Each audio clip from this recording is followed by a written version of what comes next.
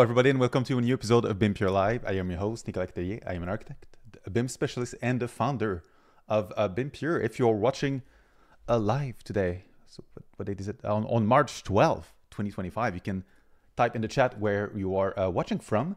We've got Alex from New Zealand. We've got someone from Louisville, Kentucky. We've got Rena. We've got Ryan from uh, Jacksonville, Florida. We've got Ashley from Cincinnati. Isham from Kamloops, BC.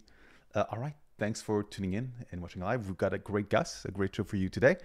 Before moving on, a couple of things to uh, mention. First, let's go with uh, next week's episode. That's going to be with Rolly Stevens from Ryan Company. He's the design technology specialist over there, and he's been using Unify, now known as Content Catalog. It was acquired by Autodesk a couple of years ago. Now it's included with the Autodesk Doc subscription. And Rolly has been using it. He's got a lot of tips on how to uh, actually implement content catalog in your firm to organize all your Revit families, uh, detailed sheets, and so on. So that's uh, next week on the next episode of BIM Pure Live, same time. So which date is that? That's on March uh, 19, 3 p.m. Eastern. And uh, what else we got? Give me a sec. Okay, there we go. And uh, on BIM Pure, we currently have our spring sale going on at 20% off on all our content and we've got a lot of new content that has been added recently and coming up very soon. First, we've recently released a new mini course with Henrik Laron called Practical Open BIM. So that's uh, been added to uh, the BIMPure website on the membership. Then we have what is called the Dynamo Space Camp, a series of three live events to help you learn and master Dynamo. That's coming soon. We've got a new mini course as well coming in April with Stjepan Mikulic, former guest of BIMPure Live, about uh, the owner and founder of AI in AC, and the name of his mini course is ChatGPT for BIM managers. That's coming up soon, and then we've got a course later in in the spring, late spring, called Mastering ACC for Revit projects. So that's all upcoming content. But if you join the membership, you also get access to our entire collection of Revit courses, downloadable content such as the Pro template, the Windows and the Doors collection, Dynamo Scripts get access to the community and can see all the courses that we have so far with various BIM and AC Tech Mega Masters. Uh, very proud to have been able to collaborate with these uh, experts.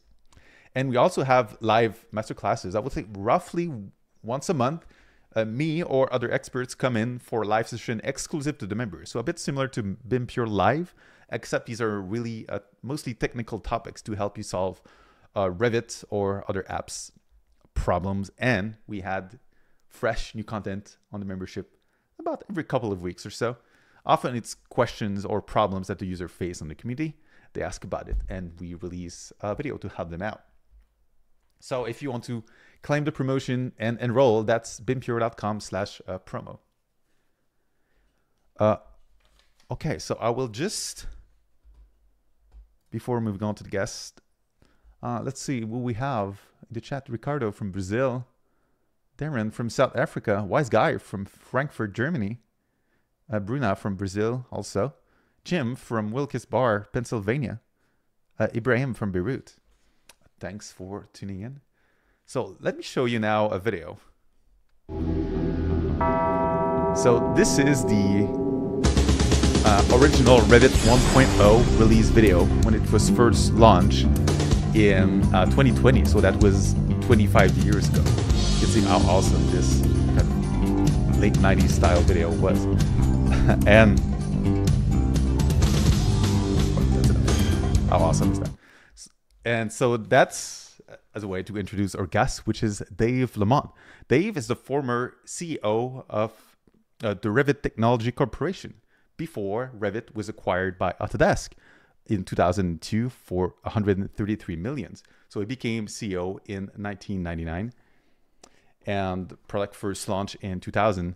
Before that, he was uh, the COO at Concentra Corporation, and after Revit, he's been the CEO at multiple apps such as App IQ, Currency, and Cubex, which has been acquired by Trimble. And now he serves as the executive chairman at Acelab, a new startup focus on improving how our architects select building products. So I'm welcoming to show Dave. How are you, Dave? I'm doing great. Thanks for having me, Nicholas. Yeah, it's scary to see that video. Yeah. Uh, uh, kind of dates me a little bit, I guess, but yeah, uh, yeah. maybe we were ahead of our time then. Uh, for sure. I do have uh, a couple of questions. Uh, well, first, I think we're going to split this session. First, I really want to get into Revit's origin story. Then I want to talk about uh, Acelab as well. So, first question How did you end up becoming Revit CEO? Well, um, the company was founded by Leonid Raiz and Irwin Jungreis, who were two developers, for, uh, the earliest developers from Parametric Technologies, PTC. PTC brought uh, parametric modeling to mechanical engineering, and, and they had a vision to bring parametric modeling to building design. Neither of them, you know, were architects or had a background in that area, and they studied and studied and studied. Now, um, Jon Hirschtick, who is a, a, a well-known name in computer-aided design, was on the board of Revit. It wasn't called Revit at the time; it was called Charles River Software at the time and uh, Jon and I worked together at Computer Vision, uh, where, where, we were both executives. They had acquired one of his earlier companies, and um, and so he had recommended me to Irwin and uh, and and Leonid, and that's really how you know I met the team and I met Northbridge Venture Partners that were the investors at the time, and and that's how I was able to uh, to join. And it was really, I was the first time, I was a COO at a, at a previous public company, but this is the first time I was a CEO in a, in a startup company. And yeah, and, and that was, so from my notes, like Leonid and Irwin, uh, the company launched in 1997 under the name Charles River Software. And you said neither of them had background in architecture? No, no. I mean, they were, their background was building computer aided design for mechanical engineering, mm-hmm. right? That's what parametric technologies was, you know, you know, and still is really a time. It's a lot more than that today, but um, they they really kind of revolutionized uh, the computer aided design for for mechanical engineering. Mm-hmm. Um, and and so what, when Revit got started, was it straight away a tool made for architecture in mind? Or yes, it, it, from yeah. the ground mm-hmm. up, it was built for architects. They did add a number of architects into the organization to mm-hmm. support them um, uh, Marty Rosmanath, who now is at Schema, David Conant. Yeah, M- Marty um, was uh, here on the show to talk about uh, Schema. To talk about Schema, last year, yeah. I think. Yeah, yeah. Yeah, he was he was one of the lead product managers. Uh, David Conant was one of the lead people testing the software. So we did add architects in, but they they did you know a, a good year of studying of mm-hmm. architects and drawings and trying to immer- immerse themselves in the market. And they were, you know, two genius level guys. I mean, they were amazing developers. So I'm, I'm curious if they were an engineer, uh, how did they get the idea to have a, a, product for architects? Because typically they say, take a problem that you're facing in the industry. You, you know what it was? I, I think they, they made a lot of money at Parametric Technologies and built expensive houses and, uh-huh. uh, and, and realized the problems in yeah. uh, that architects were facing at the time. Um, but no, it was clear though that architecture, software for architecture was way behind mechanical engineering.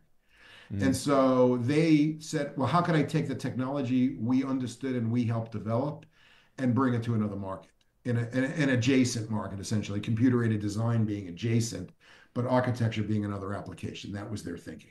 How can we revolutionize another market? And so for whatever the, the core idea in fact the name revit comes from revise instantly right yes. so was that the big killer feature that it was allowing changes yeah, well, I mean, we sat at a whiteboard like brainstorming mm-hmm. names and you know mm-hmm. that one one rev rev revise hey how about revit you know it was no more scientific than that uh, but yes it means revise it and and really you know what revit's big advancement was being able to have a parameter drive a piece of geometry, a wall, right? And be able to change that and have the wall update and the drawing associated with it update. And so, you know, being able to revise quickly which is, you know, the real problem in in computer aided design systems in general, was the inspiration for that product. Mm-hmm. And if what what was the original dream for, for Revit? Was it this idea of revise instantly, or I, I, think it was also the the idea of parametric modeling was some yeah, of the, and the, the idea was that to bring parametrics to architecture. Parametric, So- yeah, so so which was to- in to- MEP. To drive your revisions through parametric mm-hmm. editing, the same way parametric editing was used at parametric technology, which was mechanical CAD. I mean, that was the core system. Now, and the vision was, you know, all of architecture, all architecture, all drawings, all building types over time. Mhm. You know, a, a, truly massive undertaking. Yeah, for sure. That was an uh, and was it was it a super ambitious vision from from the start? Like, did they know how big it could get, or like, were the ambitions Oh, oh, smaller? oh, oh, I think we all knew how big it could get. Mhm, I don't know that we fully grasped mhm, how endless the problem is to solve.